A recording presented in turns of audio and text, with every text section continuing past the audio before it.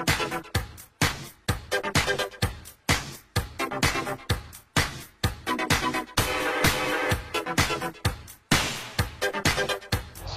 in the back of the net. Oti chasing this ball in.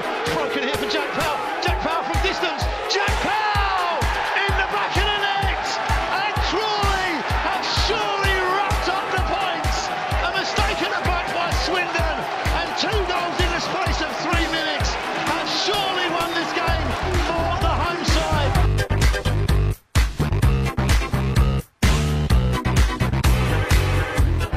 Powell over it. Tilley left footed, bends it goalwards. What a strike that is! James Tilley. James Tilley, direct from the free kick, and Crawley are back on level terms, and the fans opposite are in absolute raptures, and he absolutely thundered it home, Ken.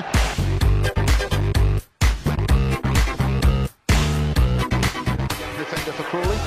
Here's Otido breaking, left hand side of the box. Can he get it square? Sells a bit of a dummy. Surely a shooting opportunity! And a opportunity!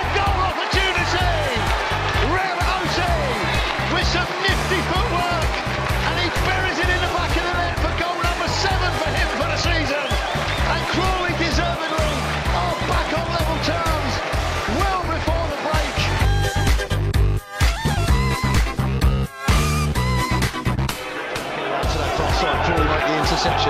Balagizi turns away with the ball, runs towards the edge of the penalty area, gets it to that left hand side, pulls it back. Balagizi edge of the box, one more. Jack Powell drives it, and Jack Powell gets his Yeah, first of the season, and there is that goal in stoppage time. That's what we're talking about. Works it from the left hand side into feet, and it was rolled onto Jack Powell, and the Peckham Pirlo makes no mistake putting it in the top corner of the net, and Crawley have the lead.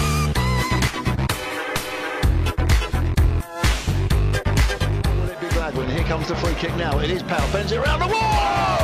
He's done it. Absolutely brilliant. Done it. Bang on cue. Jack Powell finds the back of the net with a fantastic free kick.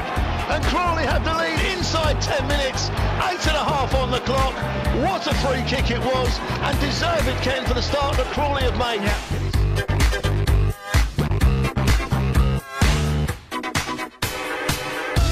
My clock says 65 and a half minutes played.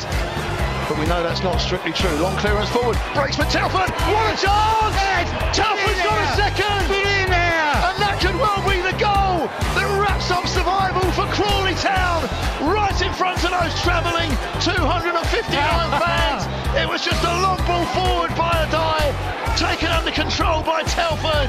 And the man who's now wearing the captain's armband at the double this afternoon leads by example and Wow. buries it beyond into the back of the net.